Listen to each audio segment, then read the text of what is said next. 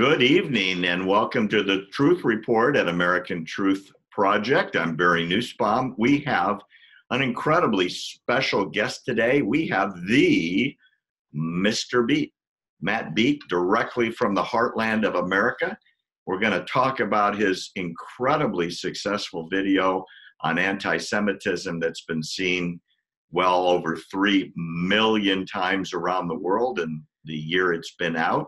It is a extremely well done analysis on what it is and how prevalent it is, and it could not be a more important topic today.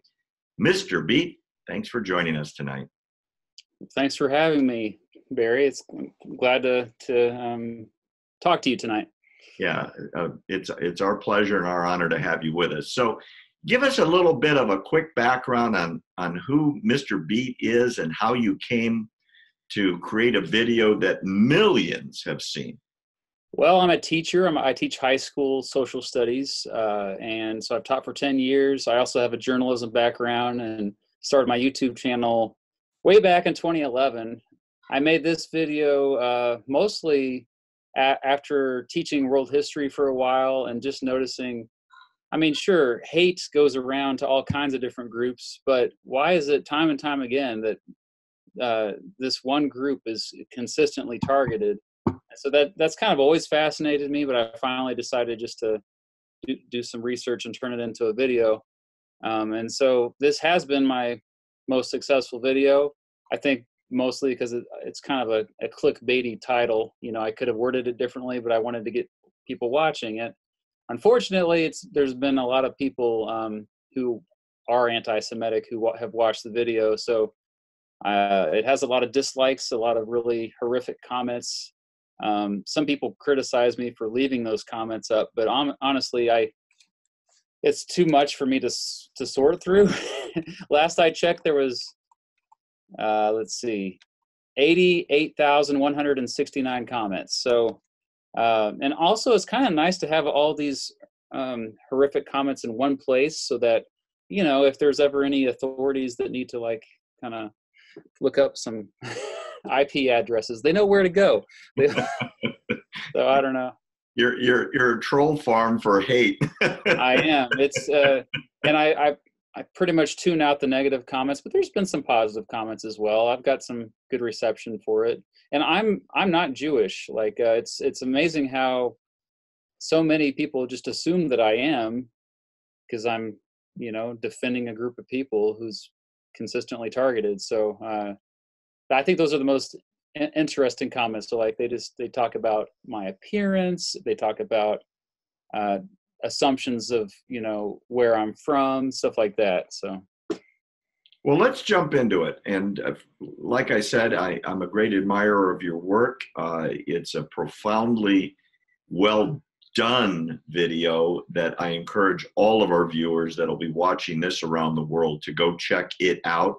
Real quick um, mr beat tell people where they can go watch what we're talking about Oh, my channel is called uh, Mr. Beat. You just search on YouTube, you'll find it. If you just do the the URL is uh, youtube.com slash I am Mr. Beats, and uh, or if you just search my name and uh, anti-Semitism, this will pop. The video will pop up. Thank you for saying such nice things about my video, by the way. well, it, it it is that well done, and it and quality and uh, insight deserves to be recognized. So let's jump into it. Um, Matt, what is it if you were to take away a couple of answers to the following question? What would your educated response be? Why is America experiencing so much anti-Semitism? And then we'll go to the rest of the world. So, what are your what what are a couple takeaways from that? Well, I think there's two takeaways that I've noticed about anti-Semitism today. Uh, the first being momentum. I mean, uh, it really started with the exiles of um, the Jewish people and and uh, their homeland, and and you know this is before the time of Jesus. This is hundreds of years before when they were consistently exiled time and time again, and then it carried over after Jesus with the earliest Christians. Um, you know them classifying people based on their religion and uh, so when people think of this in a vacuum it's ridiculous. I mean that's why I, I, try to go back with the history in my video as much as i could but honestly i didn't go back far enough and that's one thing i, I could have done be- better. Um, however when i the second part of anti-semitism today i think is probably more relevant um, and i think it's usually uh, it revolves around israel. It starts with israel and whatever israel is doing uh, people at first they, they will criticize um, the israeli government uh, and you know it's okay to criticize governments of course especially when they're doing things that are, are hurting people but then over time uh, people become more radicalized and they start to target all Jewish people. So it starts off like with legitimate criticism of of a government, um, and then it just morphs over time. And then, uh, of course, it's not just Middle Eastern countries where you see this, because with the internet these days, it's just anybody can access this stuff anywhere. So that's why I think well, it spreads so much. Let's let's localize to the United States. Let's start there because I think it's a different cause, although there may be some relation. Um, what I see, is, especially um, in the last, say, half dozen years, is an explosion of intolerance by what is now called the progressive left within America. Um, if you are different in any way, you're probably the reason why that person is upset. And there's a long list of grievances, especially on college campuses, uh, that people have. And in many cases, they have the reason why. Um, with the election of Donald Trump several years ago, uh, Trump became the why for almost every problem in America, uh, whether it was anti Semitism, in other words, the president is anti Semitic and encouraging that behavior. It was racist behavior because he was racist. It was anti Hispanic because he hates Latinos. It's anti female because he's misogynist and so on. When in reality, in, in a factual interpretation, you've never had a president of the United States with a Jewish daughter, a Jewish son in law, and Jewish grandchildren until Donald Trump. And not just Jewish, but observant Orthodox Jews who literally work with him in the White House every day. Um, in addition, you've never had a president that's done more for the state of Israel than Trump. So people that call him out as being anti-Semitic might as well be calling him a you know a three-headed lizard. It has about as little semblance of fact to it, and yet anti-Semitism is exploding at, at least among the progressive left. What are your thoughts on that? Well, it's interesting. Uh, I mean, uh, it's not because I in my video I uh, I have a little clip from Vice where they it's the uh, the the white nationalists that are anti-Semitic and uh, which they're they're not happy with President Trump because of um, you know family members who are Jewish. Um, but uh, and almost like they're in denial. But I think it's interesting. There are, like you said, there are elements of that on the left as well. And this is one area where the horseshoe theory I think is true, where you have kind of extremes on both sides that come extremes on both sides come together uh, to share with their hate. um, on the left, I think it. I'm not sure if I know too much about this because I don't I haven't researched this too much, but from what I've seen, a lot of it is what I, like what what I said earlier. It's rooted in anti-Zionism, and then it kind of radicalizes from there. So um, but on the right, I think it's more of a place of it starts. It's probably more related to ethnic, uh, you know, the uh, the white nationalist kind of strain, I guess. Well, let's let's talk about the progressive left for a minute. Um, there is a profound um, anti-American sentiment. In other words, the American system of capitalism is bad. The American system of wealth creation is bad. The American foreign policy of protecting certain allies around the world is bad. The American immigration system that doesn't open the borders to everybody is bad.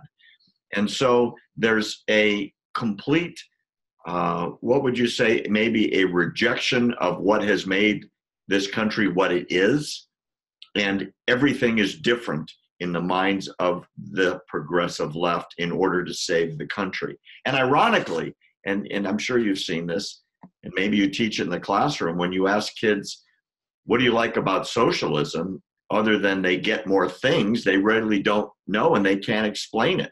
And the ones that would classify themselves as communists and, and point to communist successes around the world are so tragically misinformed by your fellow teachers uh, Mr. Beat, it's very discouraging that they're not learning in the classroom what communism really is. Yeah, uh, yeah, it's funny you say that. I actually have another video I made about the difference between capitalism, socialism, and communism, and uh, that's also been a pretty successful video. And I, think those terms get thrown around all the time, and they and they have different meanings, and so people don't even know what they mean when they say socialism or communism. Like I think a lot of times we should just all realize that we're against authoritarianism. Like because uh, ultimately that's what the soviet union was. It was just authoritarianism. It was totalitarianism. And i think hopefully most of us agree that's a bad thing. We don't want that kind of thing to happen again. And so i also teach economics. And so uh, I, I don't even use those terms very often because they're so uh, the meanings of they've kind of lost meaning especially the word socialism. It's either something that some people embrace or other people say it's the most evil thing ever. And so i basically say hey we have uh, a mixed economic system where sometimes the government steps in sometimes or other times it doesn't. And i think what, that's actually you, more accurate. and i agree and what, when you add the idea of why you aren't successful and why you don't have what you want it's quite easy to pick a minority that historically has been the reason why. In other words, mm. Jews have been scapegoats, as you said, for three millennia, since before the time of Jesus in in ancient Israel. If there was just one group of people that has been kind of consistently persecuted throughout world history, what's the first group that comes to mind to you? The Jewish population. The Jewish people. Uh, the first group I probably think of with that would be um, the Jewish people. Almost every single one of my colleagues said the same thing. They said the same group was the one that first came to mind when they thought about groups that were targeted throughout world history. Um, small group, easily identified, not assimilated, uh, quite easy to pin all the world's woes on it. And, and there's something else I think we should add. Um, in regards to the new progressive movements within this country, it has sprung up largely and almost uh, exclusively in the beginning on college campuses, where hundreds and hundreds of millions, if not billions, of Middle Eastern oil money has been invested in departments who have created an educational system based on the fact that Zionism is bad, that Islam is good. And what has been largely, if not completely, whitewashed is that Islam, unlike Christianity, that is largely reformed over the last thousand years, as you and I know, Islam has the death penalty associated with anyone who wants to change the word of the prophet. So if Muhammad says, find the Jew and kill him, the Jew is your enemy, make him your slave, take his women as your sex slaves, kill the men or sell them as slaves. Anyone that doesn't follow that and suggests a change is an apostate and subject to the death penalty. So, university after university with Islamic studies departments that are teaching this are literally infesting the education uh, of America's youth, who then become America's young and then mature adults with the concept that the people that live here that help build this country are somehow the enemy of God. And I think that's a big part of it. Yeah, you, you make a good point about the um, how Islam has struggled to modernize, whereas Judaism and Christianity they've they've modernized. They've um, become and they don't take the old text literally. And i found it interesting some of the comments in my video uh, kept mentioning that just read the talmud. Uh, like just read it. And i'm like okay but like you realize we don't have to take these ancient texts literally anymore, right? Like, because like, if you read the Old Testament, the Christian, like, oh my gosh, there's some horrible things in there, like how to treat your slaves and stuff like that. So um, that's pretty revealing if if you're uh, you're focusing so much on ancient ancient texts that you're like, that's what's driving your hate.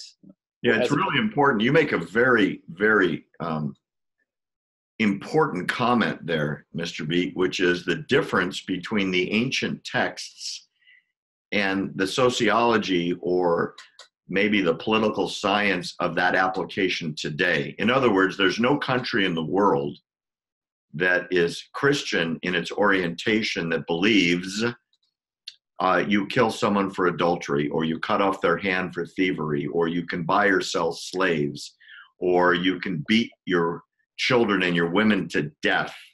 Um, you can kill someone for leaving Christianity. Judaism has no application of any rules like that. Islam, that's today's Islam. If if you are a Muslim, you self-identify as a Muslim and you give up your faith publicly, you're subject to the death penalty. I mean that literally. If you are a man and have three or four wives and you don't like the way they're acting, hey, go beat them up. There's specific instructions and there's videos on YouTube on how to beat your wife or how to beat your children. Um, female genital mutilation would not be tolerated in a Christian or a Jewish or a Buddhist or an agnostic society, but among Muslims, it's to be expected. You mutilate your Muslim daughters so they don't enjoy sex. So there's been a change in the world, whether it's reformation or modernization or just evolution. The other religions have changed and Islam hasn't. And so if Islam is teaching within our culture, you're going to get a difference of opinion. And eventually, what has happened just a few months ago with the election of very outspoken, prominent Muslims to Congress who are preaching the beauty of Islam, literally lying to the American public, it becomes, well, kind of mainstream. And their anti Semitism gets a lot of press. Why would you say, Matt, that it hasn't been condemned in the press other than by, say, opposition party members? You have a thought on that? I, I I can't really I don't know enough about that. I will say that it's probably not the best to draw too much of a paint too broad of a brush because there are two and a half billion Muslims in the world, and uh, when we talk about Saudi Arabia, uh, Muslims there, and we compare them to uh, to Muslims in say uh, Indonesia, you're going to get quite a difference. And and so I, there are secular Muslims. Um, I think when we talk about extremists um, who are fundamentalists, meaning they take these texts literally, I think it's important to say it's not as it's not all doom and gloom. It's this is I think a fairly small group of people. There are a lot of peaceful Muslims that are actually fairly secular. They don't take all this old stuff seriously. Um, as far as what's going on in the United States, though, I, I can't really. I guess I don't know much about that, so like I can't really comment too much on that. But well, it's interesting you mentioned Saudi Arabia. Saudi Arabia is the biggest funder of American universities with foreign money and their brand of Islam is called Wahhabism. Yeah. Uh, they are very extreme, uh, and they are, as you pointed out, literal in their interpretation of Sharia, which are uh, the books of Islam.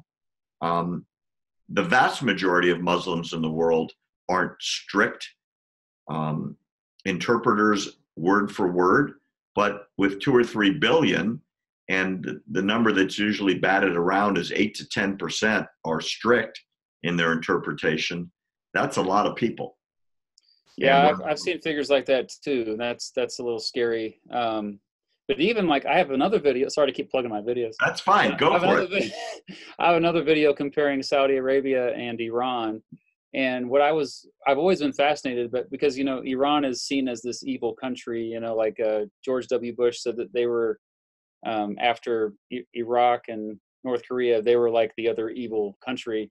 But actually, the younger people there are not quite as radicalized. They're not fundamentalist uh, Muslims, and I, I, think that's promising too. Is that even in a country uh, like Iran, you're seeing a lot of them reject these old, like, because you know it wasn't that long ago. It was um, the revolution that happened there in the late 70s uh, that tried to bring a return to a more conservative, uh, fundamentalist-based um, theocracy, which they still have a theocracy.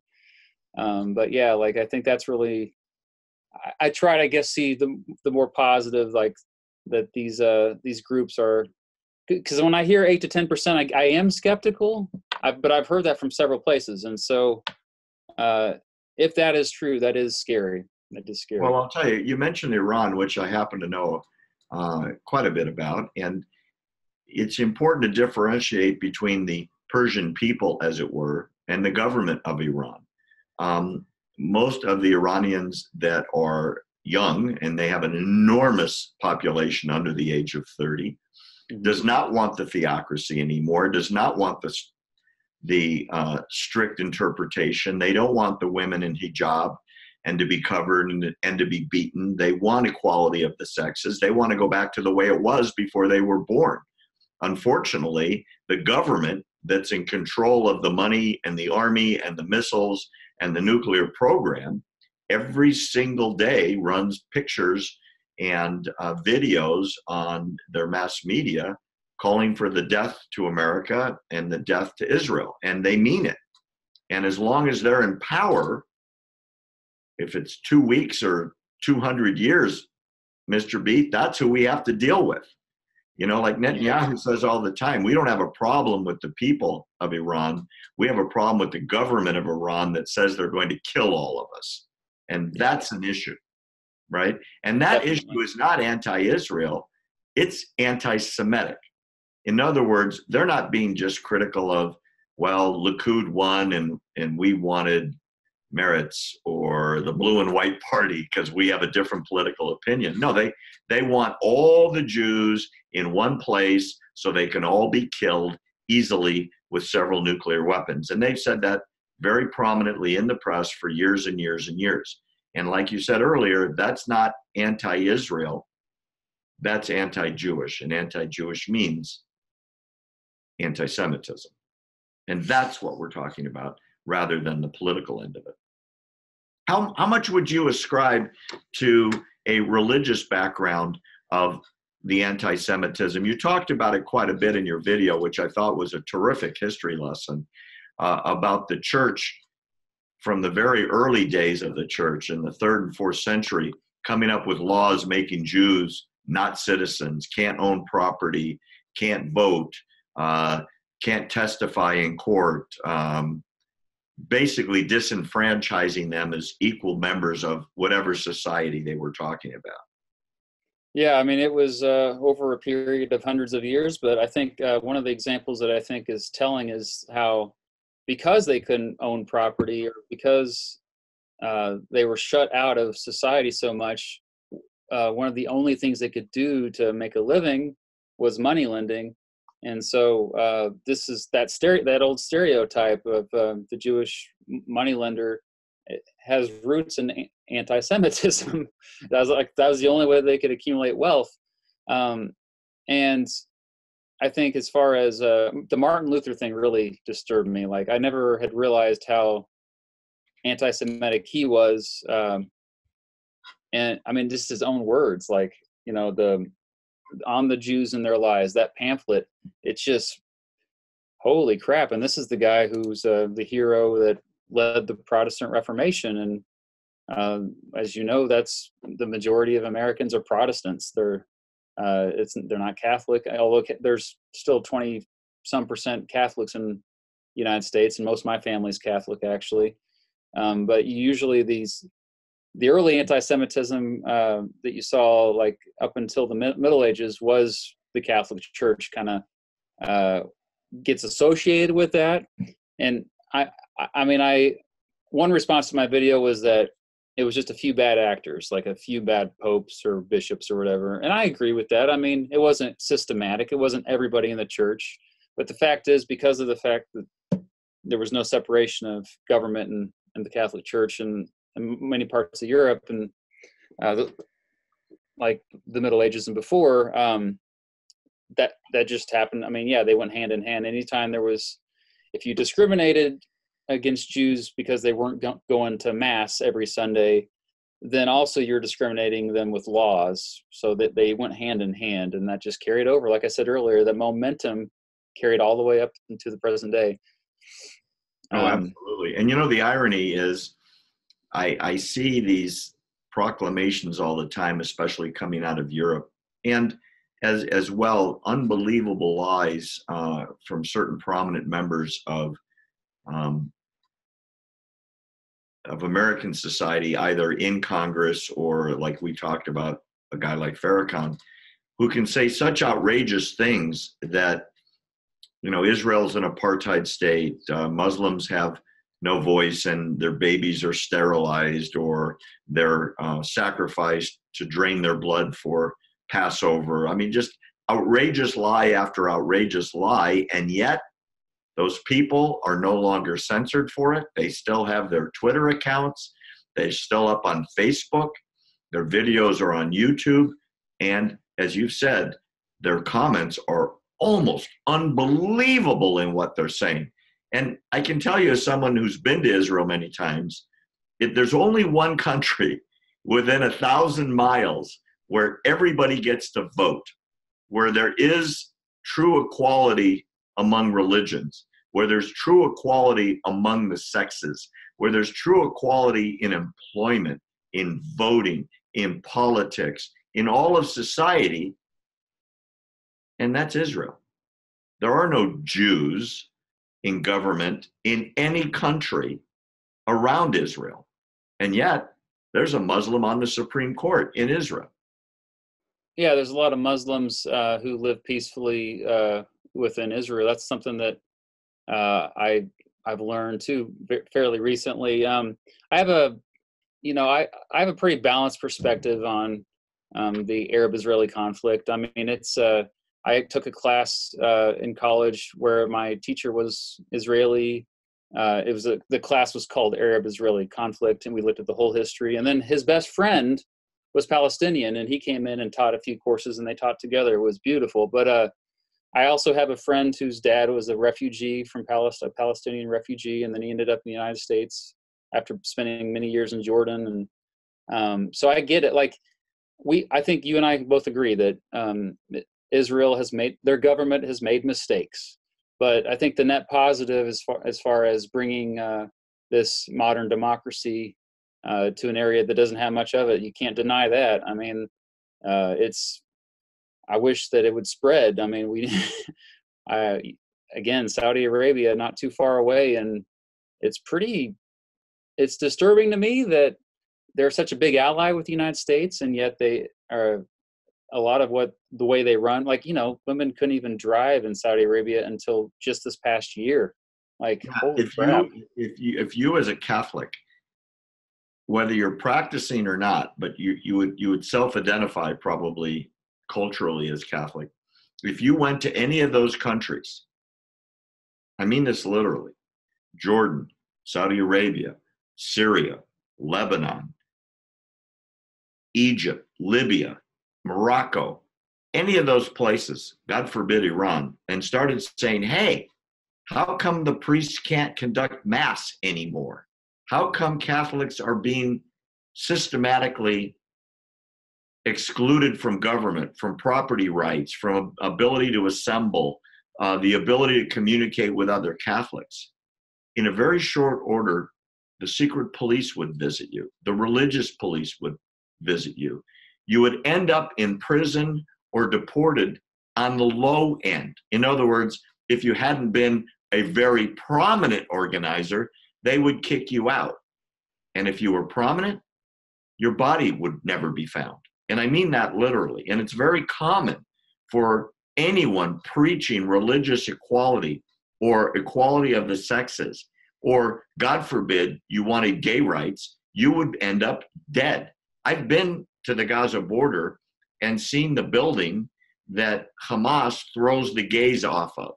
And it's a three story building. And the reason they do that is they don't want them to die easily. They want them to suffer horribly. And a big crowd gathers, and they do that as a demonstration as to how evil it is to violate the word of God, which means they will kill you slowly so you set an example so other people don't think they should consider a gay lifestyle. It's it's horrible and if you haven't seen it, it's hard to believe. It is hard to believe. I've not I've not heard about that. That's crazy. Well, I mean, look, in I, am trying to remember which country it was uh, in the Middle East. I don't want to quote it because I don't want to be wrong, but in one of those countries, the leader just announced, "We don't have any gays in our country." Because oh, I think it was Iran. I believe, if I remember correctly. It, it very well could be because it's also such atheist. They don't have any atheists in their country. Like, yeah, right. Yeah, right. They just don't come out because they know they'll be in trouble. Well, it's not just it's not trouble like you pay a fine. It's trouble like uh, prison. You're you're tortured and and your legs are broken and you're whipped and and if you survive, you're a lucky guy or lady. Um, it, it's it's horrific what the punishments are if you're outside the, the, the coloring book lines sorry, I just we have one big final point I'd like to make is that I think uh, you know all these hate, hateful comments um, and there are a lot of anti-Semitic comments my, under my video, and it is disheartening. But I think uh, it's important to remember that these are just human beings, and they were taught to hate. They were taught by somebody else, and if we want to break the cycle, I think we need to communicate with these people. Um, we need to make it's kind of like this i say the same thing about flat earthers. It's like if you show like you at least are trying to respect them and and listen to them. Now the people that say hateful things it's i mean i understand like why you would not ever want to talk to them but i'm an outsider. I'm not somebody who's personally being attacked for being jewish. I'm being attacked for making a video and so i i think oh like if you communicate with them if, if you make them because if you censor them too i could just turn i could just take off all the comments. That's going to empower them because then they're going to like feel like they're going to dig in their heels deeper. They're going to be see? They're censoring us. And so jews really do control the world yada yada. And like so i think that'd be one of the worst things you can do is like censor them and like let them be heard let their hate be heard to the world. Um, and hopefully over time they'll realize on their own like look around and like maybe this is wrong what we're doing. Maybe I overreacted. Maybe I was taught this by my dad or my brother or who else. Like, uh, so I feel like uh, the way to go about it is education, and that's what I try to do. Um, All right. So if you had if you had an audience now, the same three or four million people that saw your anti-Semitism video, but let's just say now, Mr. B. it's these are people that are the haters that are posting all that stuff underneath your video that you're a puppet of the Zionist world government and all that kind of stuff, right? well, obviously, Mr. Puppet. What what would you say to them to communicate with them that their belief system is is based on ancient prejudices that have no place in a modern world? I would say uh, just talk to somebody who's Jewish and and uh, like I have Jewish friends and they're they're not secretly running the world. I swear they like uh, they're just normal people. They uh, I think man I, I just want to understand you know like try to understand more about where this hatred is coming from and keep asking them questions really because like i think that's what drive what drove me to make the video make the video in the first place is just uh, I was not raised this way, um, and understanding why they were raised this way.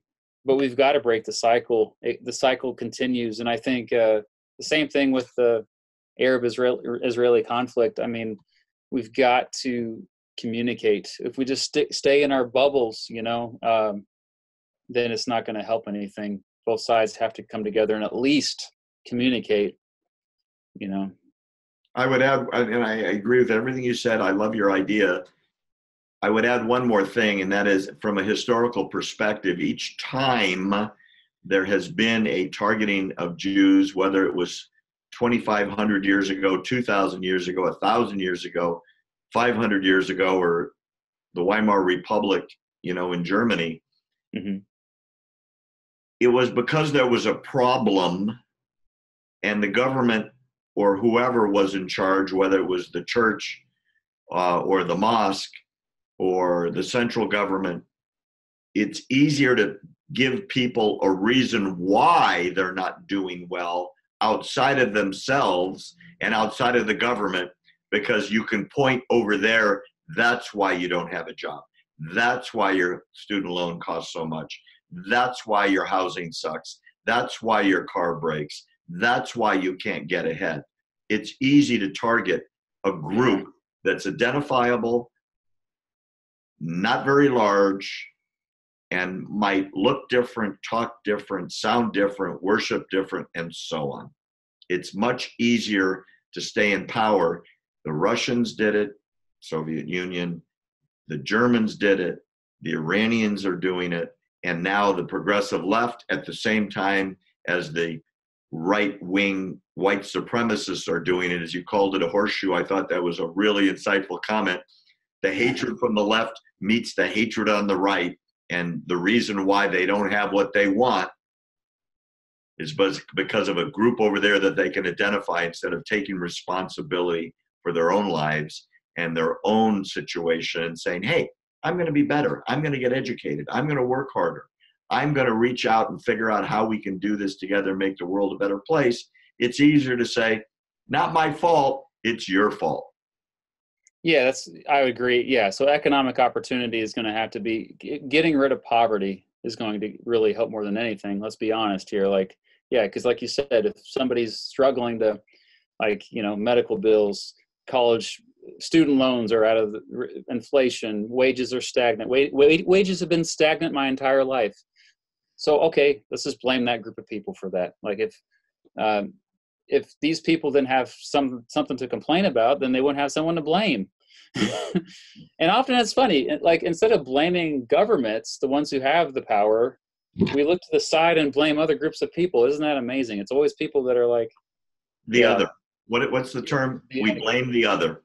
Right? Capital O, and it's usually a group that doesn't have power. Like, like why would you, it's a minority group that doesn't have much political power, and it's because they're an easy target oftentimes.